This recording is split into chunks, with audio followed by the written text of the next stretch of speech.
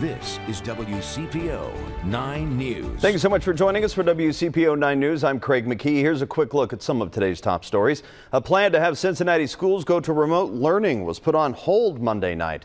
The administration recommended in-person learning end on Thursday and resume on January 18th.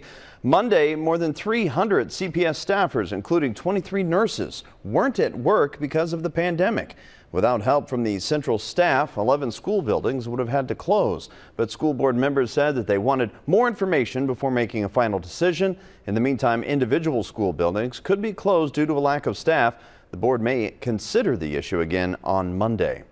Ohio hospitals must now prioritize essential surgeries and put a pause on non-essential procedures. Governor Mike DeWine issued that order Monday to keep as many hospital beds open for COVID patients as possible.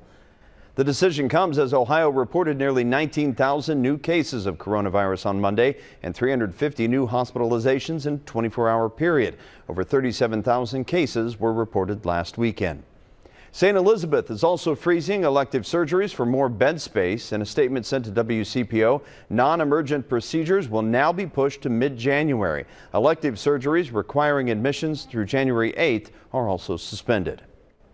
Well, the new year is bringing an increase to minimum wage in the Buckeye State. Minimum wage workers will now earn $9.31 per hour. That's about $2 more than the federal minimum wage. The 50 cent hourly increase is the largest since 2006. The $9.30 amounts to just over $19,000 annually for a full-time worker.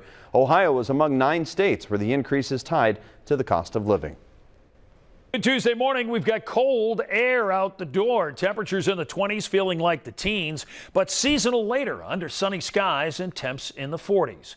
We'll see 43 degrees in Cincinnati tomorrow and on Wednesday, but then Arctic air 19, 10, 14 in the mid 20s. Thursday, we're going to see some moisture work in here. We're going to get a chance for some snow. Right now, it looks like the possibility of a couple of inches starting Thursday morning. Then temperatures rebound coming up this weekend and we get rain.